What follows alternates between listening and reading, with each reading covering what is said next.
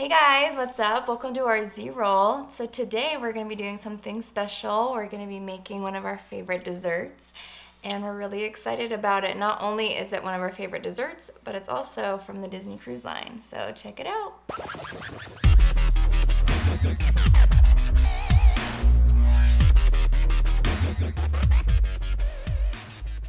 So we are going to make the chocolate souffle and also the vanilla sauce that goes with it. You find this actually in the restaurant Palo inside the Disney cruise. It's we so it's so good. good. It's so good. and the reason why we decided to do this is because we were watching some of our Disney vlogs from a little bit ago and we're kind of getting excited for our next cruise coming up, which Yeah. more to come on that. Um, so we're like, you know what? Let's do this. Let's get excited about it. Bring a little taste of the bring cruise. A little taste of the cruise, yeah. you know, it kind of helps the whole waiting period, I think. So, um, but how you find this recipe um, is if you've been on a cruise before, um, you are a member of the Castaway Key Club, and you actually can find this on the Disney Cruise website. So you actually go to the Disney Cruise website, and you'll go to the tab that says Already Booked, and go all the way down to Castaway Club click on that guy. You are going to go to downloads at the very bottom where it says Castaway Club. Click on downloads, and then there you'll see three different recipes. There's the conch cooler, um, the chocolate souffle, and the vanilla sauce. You can also find this on Google too if you're not part of the club. Um, but it's nice because these are, you know, downloadable, ready to go. So we, I'm not a cook. Lacey's a really good cook. Um, so, but we've never done this before. Yeah, this And is the fanciest dessert It, it is the fanciest we've dessert. ever made. Besides our, made. you know, chocolate popcorn, that was pretty fancy. We've done that. Yeah. So without further ado, let's let's get it going. So the first thing we got to do is preheat the oven to 350 degrees. And then we need to boil some water in a kettle. So now what we need to do is bring a cup of milk to a boil. Bam, just like that. Um, this is really intense. Lacey's reading the directions and we're like, what are we doing right now? so the directions say to butter your souffle dishes. And again, we're not like chefs. Well, it's We're- kind of vague. It's like melt. I mean, it doesn't say melted well, butter. I guarantee you most people who bake know exactly what that means. Okay. I'm that. thinking buttering means you just get a stick of butter and you just go to town inside these dishes. By the way, we got these dishes from Costco. They actually came from a dessert. Yeah. Yeah, they were and they like they're awesome. They were like a dessert you buy, and then they had these like It was like a little souffle. I it was a little yeah. souffle. But, but we're like, these will be better." they're pretty nice. You gotta keep them. So if this is not what you're supposed to do, some of you may make fun of us, and that's okay. But we'll find out shortly if that's what we're supposed to do. I'm pretty sure. Is this right? I think so. Yeah, I hope so. Nobody knows. I mean, you may. We don't. Dust it And then we dust it. with sugar. Just like that, I think. We're gonna say that's dusting. Fairy dust right there. Milk is done boiling, so we probably should. Milk's going to town. So now we gotta melt three tablespoons of butter. Got the water boiling, the milk boiling, and the butter melting. There's a lot going on with this recipe. Yeah, there is a lot going on in this recipe. Okay. And fairy dusted, buttered, and then you need this premium cocoa. Natural and Dutch blend. The recipe calls for Dutch process cocoa. So Okay, we'll see.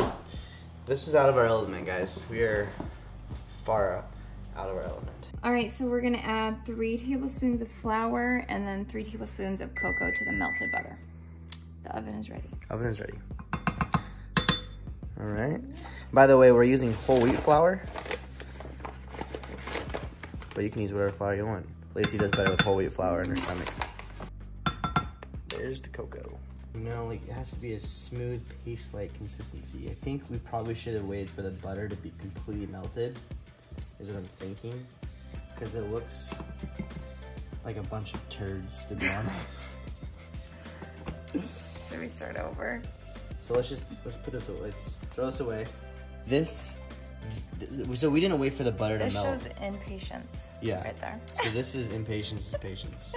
so this is like yeah, we didn't wait for the butter to melt, and this is we did wait for it to melt, and then we added the ingredients. So you definitely need to make sure the butter is completely melted, as we do this for you, so you know how to do this.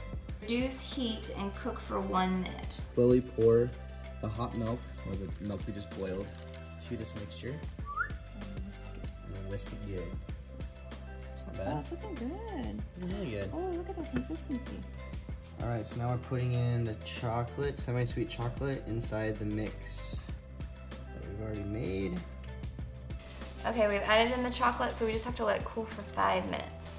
So while we're waiting for the five minutes to cool, the next step is beating our egg whites until it's frothy. And we already separated our eggs because we're using the yolk in the other pan. There's a lot of pans going on. A lot of dishes, a lot of pans, a lot of things I don't know what it means, like whisk until it's froth frothy, mm-hmm. whisk until it's bubbly. So now we're gonna add six tablespoons of sugar into the frothy egg whites.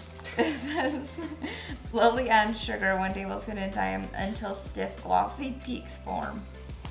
What the heck? Until stiff, glossy Glossy peaks peaks form. form.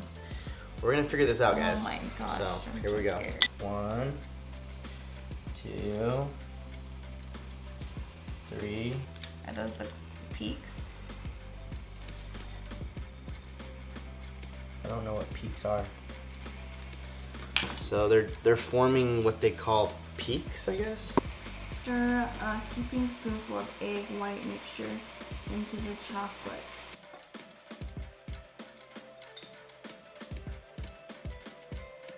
Okay, so now we're gonna fill the souffle dishes. Doesn't say how how full you fill them, so I'm just gonna do them until they're like three fourths of the way. So I feel like three fourths is always a good cooking measurement. Looks pretty good, huh? Mhm. Now we have to put them inside a dish, a cooking dish. It goes in the oven, um, like this, and we gotta fill this pan up Boiling with water. boiling water. And it says enough to reach halfway up the cup. Now that's what, exactly what you're gonna do. So hopefully we boiled enough water. And about halfway up we go, which is about right there. So now we just bake this for 20 minutes. Go. Okay, so now we're going to make the vanilla sauce, and we need a one and one fourth of heavy whipping cream. Okay, so we need one fourth of a vanilla bean split lengthwise. I've We- never cooked vanilla Yeah. beans. I mean, but we're gonna cook it tonight. It's actually my first time buying vanilla beans. It took me forever to find them. This little guy was like nine dollars, so I'm Probably gonna taste so good. hopefully. I hope it tastes good. Be a bummer if it just tastes like burnt rubber. Oh, it smells so good. Smell that. Oh, that smells really Oh, it's so good. fresh.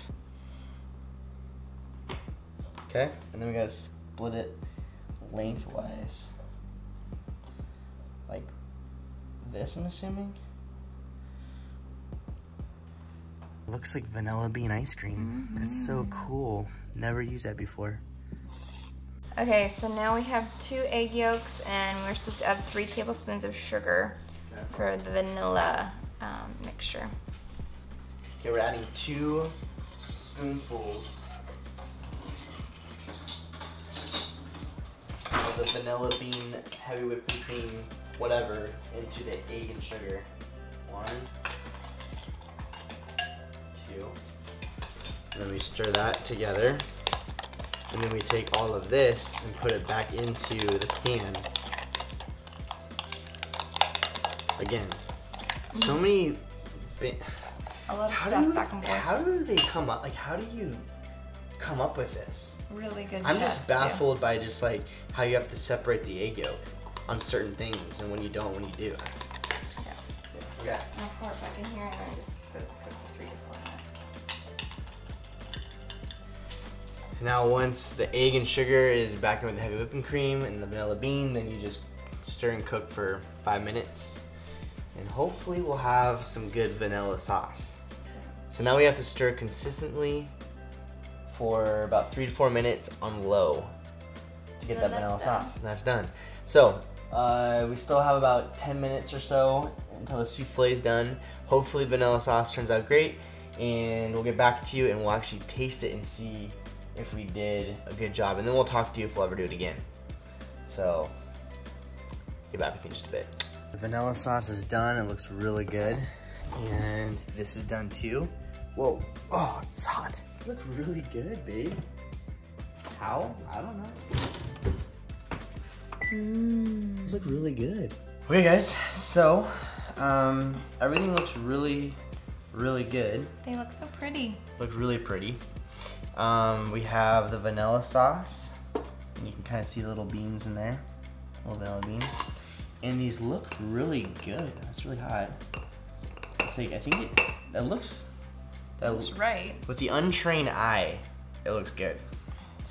So we're gonna go ahead and taste them independently, and then we're gonna taste them together. It's hot. It's. I think the texture's good. Yeah.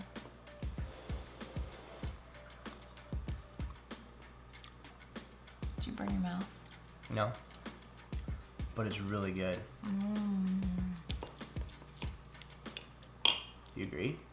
That is so good. Yeah, it's really good. The texture's like perfect. in Yep. This is by far the fanciest thing we've ever made in our entire lives.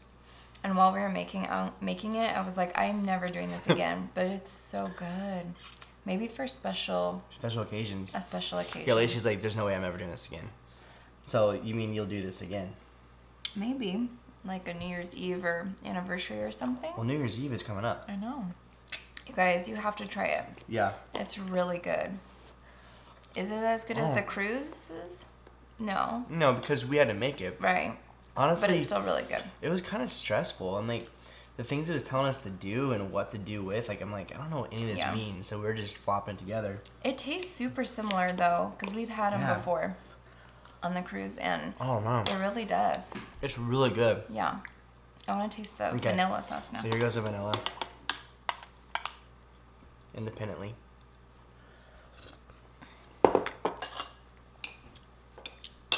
Yeah, it's good.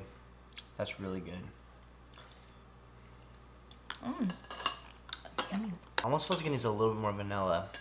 And we added more than what they said. Yeah. It's still really, oh man, that's really good.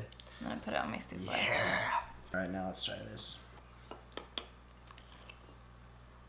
Mm, Oh my gosh. That's so good. that's really good. I mean, it tastes great, just the chocolate souffle, but the vanilla does Oh, add a lot to it. I'm putting way, like a ton of vanilla in there. Yeah, it does. It's really good. The vanilla bean makes a difference. It does. Yeah.